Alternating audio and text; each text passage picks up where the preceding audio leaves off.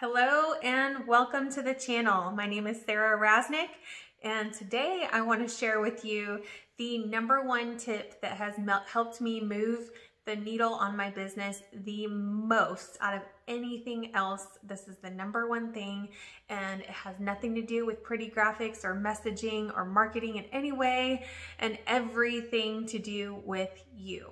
If you are a woman in business, an entrepreneur, you are my people.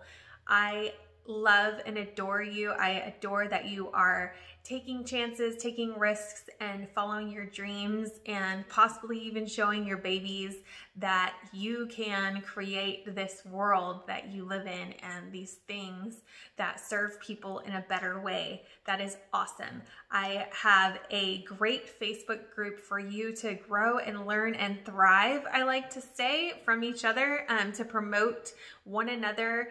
Uh, there are people in there that are just as happy to try and try out your products and promote you and help you grow and learn and thrive. So check that out. It is the mom, uh, entrepreneur, so entrepreneur, but momtrepreneur networking group on Facebook. So check that out.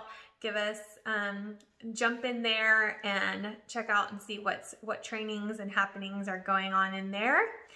And so let's get right down to it because I know that you are busy. I am busy too. I got things happening today. So we're just going to jump right down into it. So the number one thing that will help you grow in your business is mindset.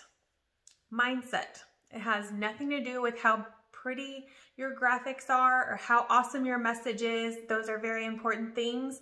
But if you do not believe in yourself and what you are selling to people, then they are going to feel it. They are going to know that you are pretending and that you are just out to sell them something. So that is why the saying is so popular to do what you love and you will never work a day in your life because I if you are not being authentic and awesome and showing up and believing in yourself and developing yourself every single day and taking care I like to say filling your cup first. Um, so to me that means getting up in the morning, drinking the water, um, exercising, uh, getting your shower in, um, writing down your goals, and being grateful for what you have and what is going on in your life. No matter what that is, every single person can find five things to be grateful for every single day of their life and write them down. That is huge. And just the simple act of drinking water is, you know, half of your body weight in water. And then taking even 10 to 30 minutes a day to educate yourself on something. So read a book in an area that you need to grow or sit down and talk about talk with someone or find a YouTube video like this one of um, something that will teach you in an area that you need to grow and improve.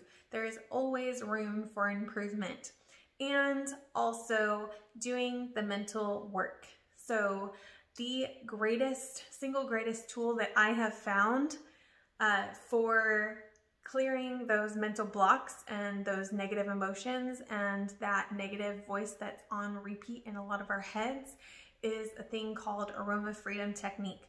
And I will be offering a free session in that group that I mentioned, the Mom Entrepreneurs uh, networking group on Facebook. So jump in there and find that free training. If you are watching this in real time, today is Thursday and um, I will be offering it, I believe, on Tuesday of next week. So we have Teach It Tuesday in that group where we offer free resources and things that are just in our lane. So my lane is health and wellness and um, just mindset training and things like that. So I like to use my sense of smell to trigger a positive emotion anytime I need it. And I use the aroma freedom technique to do that and to release the negative things that have happened to me that no longer serve me so that I can move forward in my business and rock it. So I hope that this has helped. If it does, give me a thumbs up